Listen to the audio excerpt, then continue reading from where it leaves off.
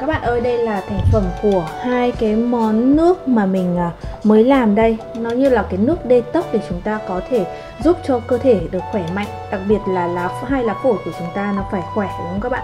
Và đây đó là cái uh, kháng sinh tự nhiên mà chúng ta có thể uống được ngay để giúp cơ thể của chúng ta tăng cường được sức đề kháng. Và làm sao để các bạn có thể làm được những cái loại nước như thế này?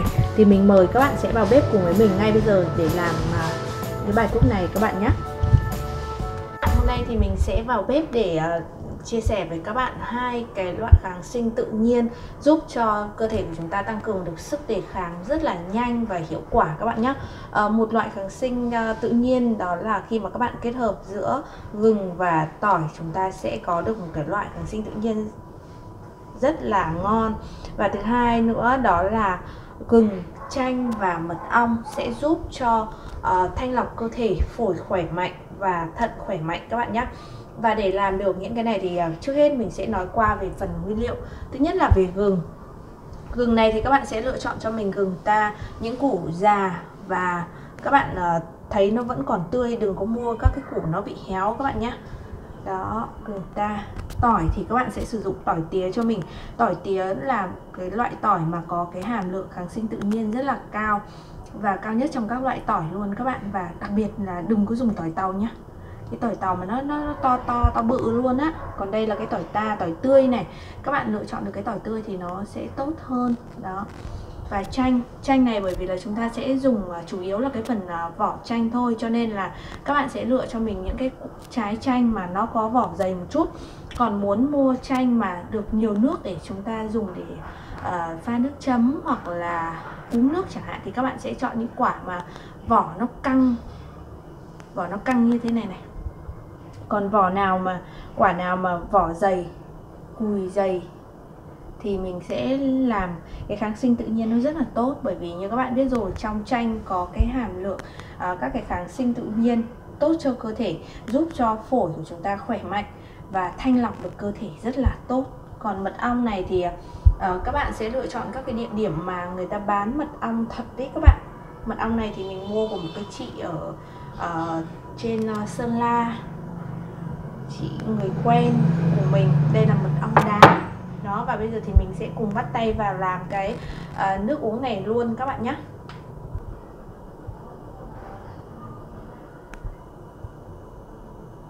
để làm được cái bài thuốc này thì à, chanh các bạn sẽ lựa cho mình những cái quả mà nó vỏ nó dày như thế này. Sau đó thì các bạn sẽ cho vào các bạn dùng cho mình hai quả nhá. Sau đó các bạn cho vào trong uh, ngăn đá tủ lạnh cho mình khoảng một tiếng. Sau đó sau đó thì mình sẽ quay lại làm cái phần uh, nước chanh gừng sau. Còn bây giờ thì mình sẽ làm cái kháng sinh về uh, tỏi gừng trước các bạn nhé tỏi và gừng.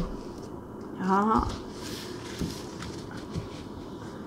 Tỏi này thì các bạn sẽ bóc cho mình à, nếu như mà các bạn muốn uống luôn thì các bạn sẽ bóc cho mình à, một tép tỏi. Một tép tỏi này của mình nó rất là lớn này. Đây mình sẽ cho các bạn xem nhé nó lớn như thế này khoảng tầm để mình xem nó bao nhiêu gam nhé để các bạn căn cho nó đúng.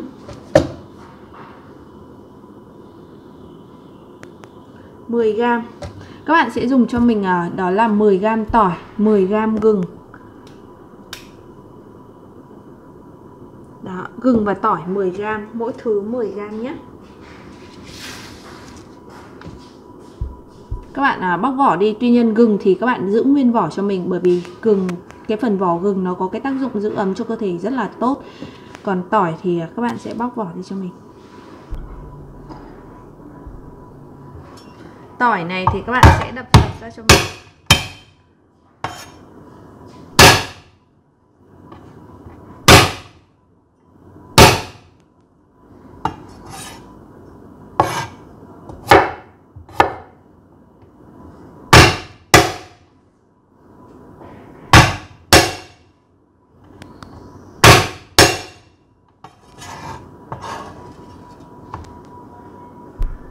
Các bạn sẽ chuẩn bị cho mình một cái cốc sau đó cho phần gừng tỏi vào.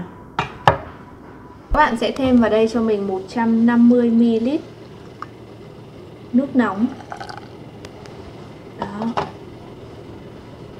Các bạn sẽ khuấy đều lên cho mình. Các bạn khuấy như thế này thì cái phần uh, tinh dầu của tỏi và gừng nó sẽ ra cái phần nước nóng này được nhanh hơn. Và khi mà các bạn cho vào như vậy rồi thì các bạn sẽ để cho mình từ 10 đến 15 phút để cho cái phần à, nó lấy được hết cái phần tinh dầu tỏi. Sau đó các bạn chắt lấy nước để chúng ta uống các bạn nhé. À, chanh ở đây thì mình đã cho vào trong ngăn đá tủ lạnh được một tiếng rồi và cái phần vỏ nó đã rất là cứng. Khi mà các bạn thấy cái phần vỏ nó cứng rồi thì các bạn sẽ bào cho mình cái phần vỏ chanh các bạn nhé nếu như mà các bạn muốn uống chua thì các bạn sẽ bào cho mình cả cái phần lõi chanh. Tuy nhiên ở đây thì mình chỉ muốn lấy cái phần kháng sinh tự nhiên ở trong cái phần vỏ thôi. Cho nên là mình sẽ lấy ở cái phần vỏ chanh. Chứ mình không có bào vào cái phần trong các bạn nhé.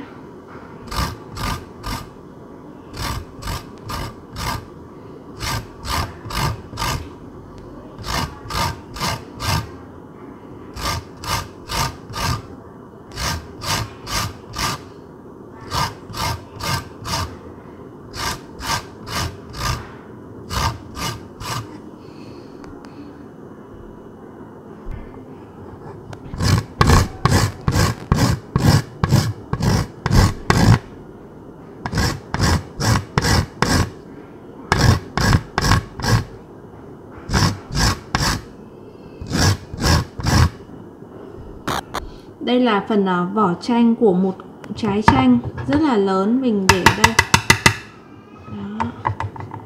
bây giờ thì các bạn sẽ lấy cho mình uh, 10 gram gừng bào các bạn nhé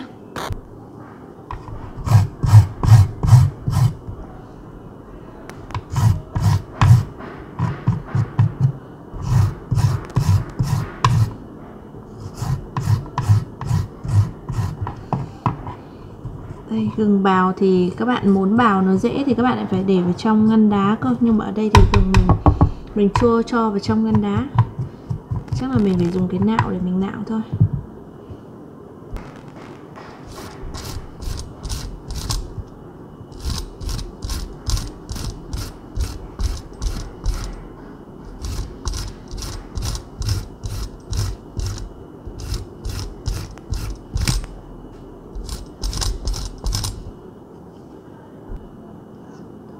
Sau khi mà các bạn đã bào xong cho mình phần à, gừng và cái phần à, vỏ chanh như thế này rồi bây giờ các bạn sẽ cho vào một cái hũ các bạn nhé.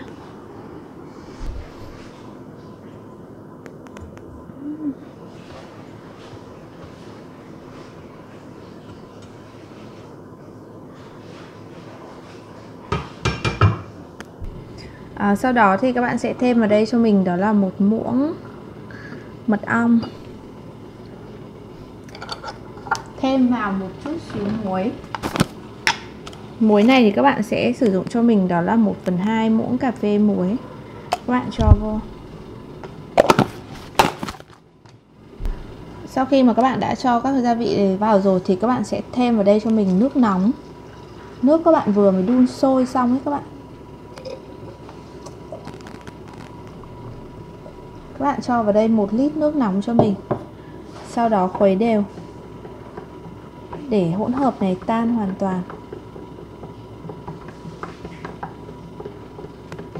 Và các bạn sẽ để cho mình từ ờ, 15 đến 20 phút để cho hỗn hợp này ờ, nó còn cái vị hơi ấm ấm một chút.